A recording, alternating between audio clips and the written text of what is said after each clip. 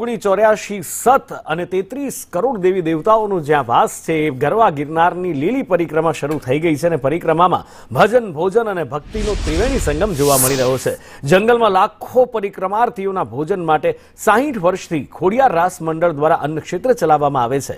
આ વર્ષે અલગ અલગ ત્રણ સ્થળ પર અન્ન ક્ષેત્ર શરૂ કરવામાં આવ્યા છે, જેમાં સવારે નાસ્તો, બપોરે ભોજન આપવામાં આવે છે. લોકો પ્રસાદ લઈ આ અન્ન ક્ષેત્રની સેવાને બિરદાવી રહ્યા છે. અને આટલી સુંદર વ્યવસ્થા અમે ક્યાંય જોઈ નથી. આટલું સુંદર ચા પાણીની પરબ છે, છાશની પણ પરબ છે, પાણીની પણ પરબ છે. આવું અન્ન ક્ષેત્ર અમે ક્યાંય જોયું નથી. અને ખાવાનો સ્વાદ પણ ખૂબ જ સરસ છે.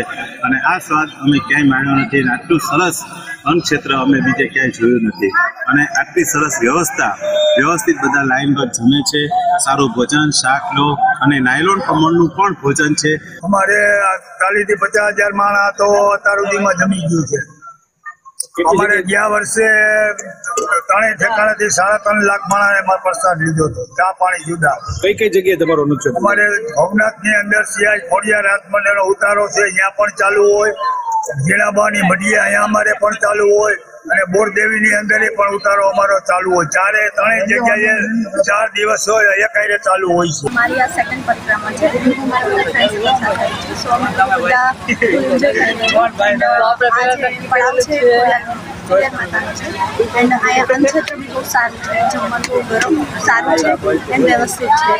અને બધું એકદમ ફ્રેશ છે. એટલે જમવાની બી મજા આવે છે. ટેસ્ટ બી બહુ સારો છે.